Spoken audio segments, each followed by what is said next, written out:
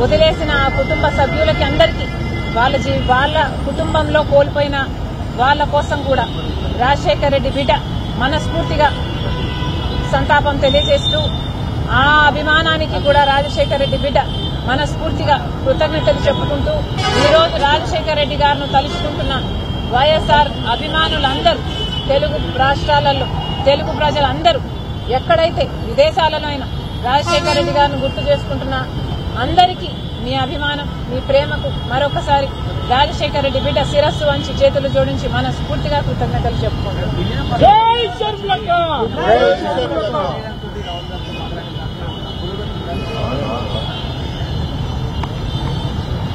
మీ అందరికీ తెలుసు సోనియా గాంధీ గారితోటి రాహుల్ గాంధీ గారితోటి కలవడం జరిగింది.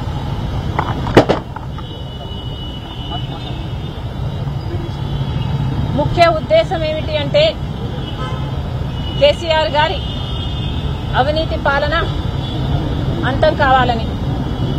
నేను మూడు వేల ఎనిమిది వందల కిలోమీటర్లు పాదయాత్ర చేసిందాన్ని ఈ తెలంగాణ రాష్ట్రంలో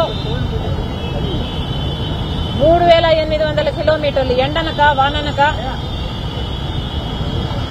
మూడు వేల ఎనిమిది వందల కిలోమీటర్లు పాదయాత్ర ఒక యజ్ఞంలాగా చేస్తే ప్రతి ఊరిలో ప్రతి గ్రామంలో ప్రతి చోట వాళ్ళు చెప్పిన సమస్యలు సామాన్యమైనవి కావు. ప్రభుత్వంలో ఉండి అధికారంలో ఉండి కేసీఆర్ గారు మాట ఇచ్చి నిలుపుకోగలిగి కూడా ఒక్క మాట కూడా నిలబెట్టుకోలేదు. రుణమాఫీ చేస్తానని కేసీఆర్ గారు ముప్పై ఆరు లక్షల మందికి రైతులకు మాటిచ్చాడు.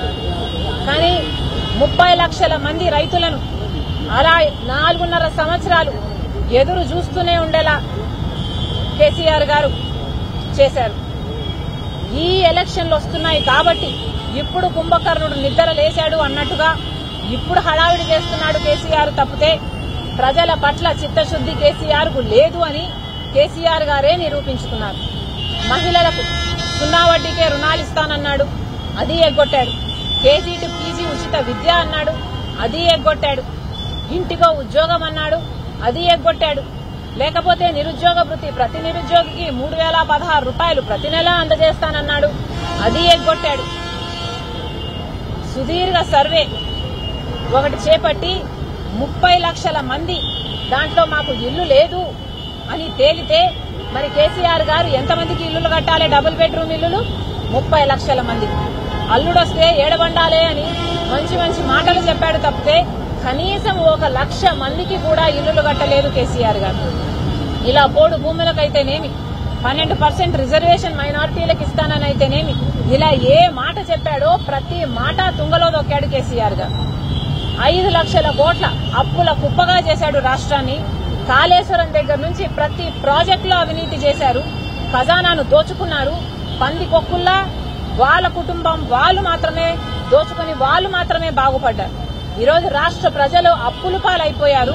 అప్పు లేని వాడు ఈరోజు మన రాష్ట్రంలో లేనే లేడు ఎంతమంది రైతులు ఆత్మహత్యలు చేసుకుంటున్నా నిరుద్యోగులు ఆత్మహత్యలు చేసుకుంటున్నా కేసీఆర్ గారికి మాత్రం దున్నపోతు మీద వానబడినట్టే చీమ గుట్టినట్టు కూడా లేదు. అరే నేను మూడు వేల ఎనిమిది వందల కిలోమీటర్లు పాదయాత్ర చేశారు కదా.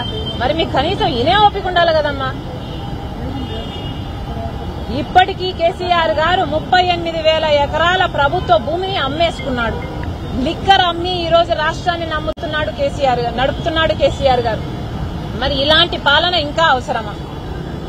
కేసీఆర్ గారి పాలన పోతేనే కేసీఆర్ గారి నియంత పాలన అంతం అవుతేనే తెలంగాణ ప్రజలు బాగుపడతారు. తెలంగాణ రాష్ట్రాన్ని కాపాడుకోవాల్సిన బాధ్యత మనది. తెలంగాణ రాష్ట్ర తెలంగాణ రాష్ట్రాన్ని కాపాడుకోవాల్సిన బాధ్యత ప్రతి పౌరునిదే కాదు ప్రతి పొలిటికల్ పార్టీది కూడా. ఈ దిశగానే సోనియా గాంధీ గారితోటి రాహుల్ గాంధీ గారితోటి భేటీ జరిగింది. మీరు అనుకుంటున్నట్టు సుదీర్ఘంగా చర్చలు జరిగాయి. మేము కలిసి పని చేయాలి. ఎలా కలిసి పని చేస్తే కేసీఆర్ గారి ఈ అవినీతి పాలన అంతం అవుతుంది అని సుదీర్ఘంగా చర్చించాము. చర్చలు తుది దశకొచ్చాయి. తెలిసిన వెంటనే ఒక కొలికి వచ్చిన వెంటనే మా పార్టీ కార్యకర్తలు లీడర్లతో మాట్లాడిన తర్వాత మీడియాకు ప్రజలందరికీ కూడా చెప్పడం జరుగుతుంది.